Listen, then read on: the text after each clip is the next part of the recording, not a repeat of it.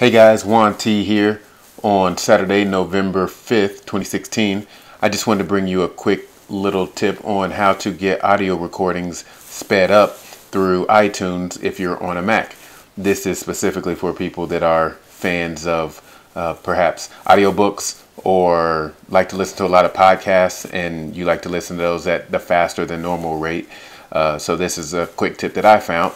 Prior to today, I wasn't aware of any way to speed up uh, a podcast if you're going through iTunes and haven't downloaded any other player. So this was the what I was able to put together. So essentially, what you'll want to do. Oh well, let me start with a, a quick caveat. Uh, this is under we're working under the assumption that you're running QuickTime Player uh, version 10 or above, and also if you're on OS 10 or above on your uh, let's say on your Mac. Uh, so obviously, also assuming that you have a Mac. So meeting all those standards, then this is the video for you. Really quick though, so what you'll want to do is you'll go to your uh, you'll open up your i like in this instance we're going to say your podcast and then so you're going to open up the itunes and then select your podcast of choice in this instance we're listening to uh, i'm listening to eric thomas and a quick plug for them. If you've never heard of breathe university that's a great community that they've started uh, et the hip-hop preacher and uh, the eta fam. So if you're into personal development if you're into to growth and really helping others, that's a, definitely a solid uh, community that you'll you'll definitely want to look into. They're doing great things there, and I'm a part of that as well. So, quick plug aside, uh, what you want to do is open up your podcast of choice. In this case, I went to episode 45, and let me go ahead and close this for you, uh, and to maybe help you see better here. And then what's your so what you'll want to do is go to the podcast of choice. You'll want to right click on that and then you'll say show in finder once you click that I already had it pulled up but the finder is here. And once it's pulled up I again went to the episode that I was looking to play which being the most recent episode it will come here and then you would right click that. And then from there you'll want to say open with. And then once you get to open with you could open with your QuickTime player. After you have it open in your QuickTime player, and I hope I'm not going too fast for anybody, but again, right clicking here, you'll have it opened here, and then so you'll see this pop up.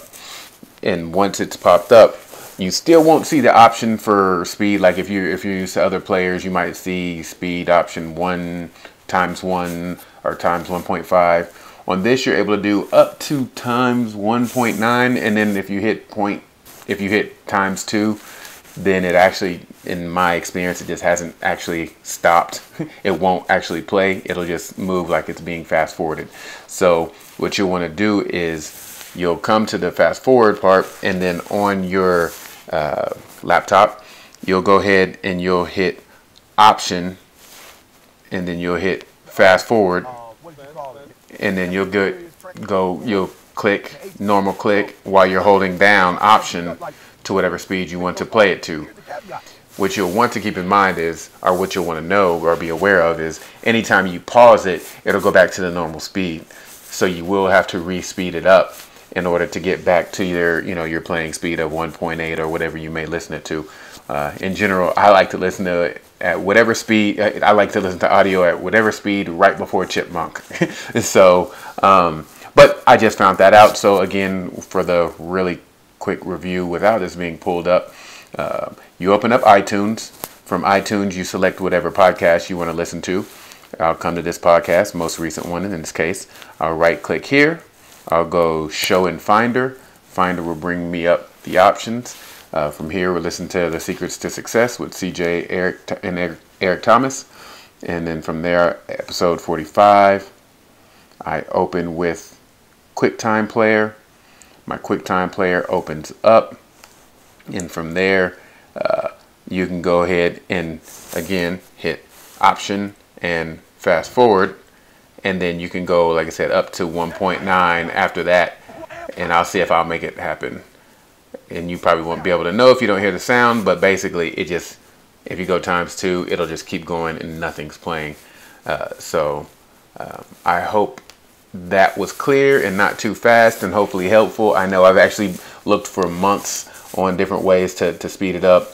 Um, and this is just a great option when you're not listening to your podcasts on your phone or your audiobook if you are into those. So, other than that, that's all I have for today.